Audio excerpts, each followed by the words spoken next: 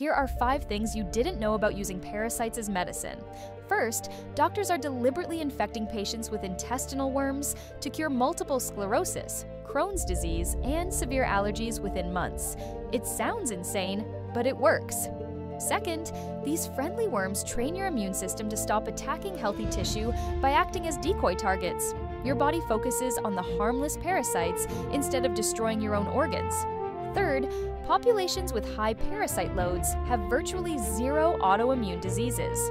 Places like rural Africa see almost no cases of allergies or inflammatory bowel disease. Fourth, specific worm species called helminths produce healing compounds while living peacefully in human intestines. They release anti inflammatory molecules that calm your entire immune response. Fifth, our sterile modern environments cause this crisis by removing these ancient evolutionary partners. Without parasites, our immune systems literally turn against us. The most mind blowing part patients report feeling healthier than they have in decades despite being technically infected. Sometimes the cure is more shocking than the disease.